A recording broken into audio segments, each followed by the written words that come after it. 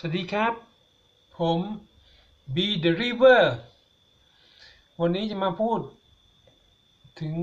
ฟอร์มของบอลทีมชาติไทย ฟอร์มทีมชาติไทยฟุตบอลชายซีเกมส์นะครับผม ซึ่งบอลทีมชาติไทยฟุตบอลทีมชายนั้นสามารถเอาชนะสิงคโปร์ไปได้3ลูกต่อศูนย์ซึ่งสามประตูที่ที่เกิดขึ้นนั้นเกิดขึ้นมาจากครึ่งแรกทั้งนั้นเลยนะครับผม เป็นการยิงของทีมชาติไทยสามลูกเลย ครึ่งหลังไม่สามารถทำอะไรได้ จึงทำให้ชนะไปได้สามศูนย์โอกาสเข้ารอบของเราก็เหลือน้อยเต็มทีแล้วนะครับผมเพราะนัดแรกมานี่ แพ้อินโดนีเซียมันสองประตูต่อศูนย์ทำให้ตอนนี้เราอยู่อันดับสองก็จริง แต่เรามีแต้มเท่ากับอินโดนีเซียนะครับผม แต่อินโดนีเซียก็เจองานหนักน้อยกว่าเราแล้วพราะนัดนี้เจอกับเวียดนามแล้วก็แพ้เวียดนามไปสองประตูต่อหนึ่งทำให้มีหกแต้มเท่าเดิม แต่แข่งเท่ากับทีมชาติไทยคือสามนัด แต่อินโดนีเซียได้เปรียบนะครับผมเพราะเจอคู่แข่งต่อไปอ่อนๆทั้งนั้น แต่ไทยต้องเจอกับเวียดนามอีก ซึ่งสามารถไทยมีหนทางเดียวนั้นที่จะเข้ารอบต่อไปได้ คือต้องเอาชนะเวียดนามได้ และยิงประตูทีม ที่ต้องเจอกับคือทีมลาวแล้วก็ทีมเวียดนามไม่ได้เยอะๆ เพื่อว่านับผลประตูได้เสียนะครับผม ตอนนี้ก็ต้องไปเจอลาวในวันที่วันอังคารนี้นะครับผม ส่วนพฤหัสนัดสุดท้ายต้องไปเจอเวียดนาม นัดตัดสินแล้วนะครับผมว่าเราจะได้เข้ารอบหรือเปล่า แต่ผมหวั่นใจในใจลึกๆแล้ว เวียดนามชุดนี้เล่นดีนะครับผม ขนาดอินโดนีเซียยังแพ้เลย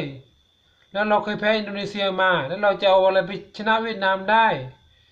นี่ไม่ได้อวยเวียดนามนะครับผม แต่ว่าพูดตามหลักความจริง ถ้าเราสามารถเอาชนะได้ก็ดีไปนะครับผมชนะเวียดนามได้โอ้โหสำหรับทีมชาติลาวผมมองข้ามจับไปเลย เราชนะอยู่แล้ว เพียงแต่ว่าเราชนะ มากน้อยเท่าไหร่เท่านั้นเอง แต่นัดเวียดนามนัดสำคัญ เป็นนัดตัดสินชี้ชะตาว่าเราจะสามารถเข้ารอบต่อไปได้หรือไม่ ขอเราแค่ชนะหนึ่งศูนย์ก็พอแล้ว และเป็นว่านัดผลประตูได้เสียกัน เพราะตอนนี้เราผลประตูได้เสียดีกว่า อินโดนีเซียอยู่นะครับผม จึงทำให้เราเป็นอันดับสองอยู่ แต่ก็นั่นนะครับผมไว้วางใจไม่ได้นะครับผม เพราะว่าทีมอินโดนีเซียต้องเจอทีมอ่อนๆไม่ว่าจะเป็นบูไนหรือลาวนะครับผมอีกสองทีม ซึ่งทีมนี้อ่อนๆทั้งนั้นสองทีมทำให้ทีมอินโดนีเซียสามารถยิงได้เยอะมากกว่านี้อีกนะครับผม เอาละครับผมพูดถึงทีมฟุตบอลชาย ซีเกมมาก็เยอะแล้วนะครับผมคราวนี้มาพูดถึงฟุตบอลพรีเมียร์ลีกบ้างนะครับผม คืนนี้มีเตะกันทั้งหมด 4 คู่นะครับผม ซึ่งคู่ตอน3ทุ่มจบไปแล้ว 2 ทีมนะครับผม คือสกอร์ออกมาเป็นอย่างนี้นะครับผมนอริชซิตี้เปิดบ้านรับการเยือนของอาร์เซนอลเสมอด้วยสกอร์2ประตูต่อ 2 ส่วนอีกคู่นั้นก็คือ วูล์ฟแฮมป์ตันเปิดบ้านรับการเยือนของเชฟฟิลด์ยูไนเต็ดซึ่งเสมอกันไป 1 ประตูต่อหนึ่งสำหรับอาร์เซนอลนั้นผมว่าฟอร์มไม่ฟื้นเลยนะครับผม ถึงแม้จะได้เฟดเฟดรี่เฟดดี้เฟเดรี่ลุงเบิร์กมาช่วยเป็นโค้ชชั่วคราวนะครับผม แต่ก็ไม่สามารถช่วยอาร์เซนอลชนะได้ ทั้งทั้งที่เจอทีมอ่อนๆอย่างอาร์นอริชซิตี้ตอนนี้คิดว่าอาร์เซนอลนี่ฟอร์มอย่างนี้ไม่ไหวนะครับผม อันดับก็ไม่ค่อยดีแล้วนะครับผม การจะลุ้นไป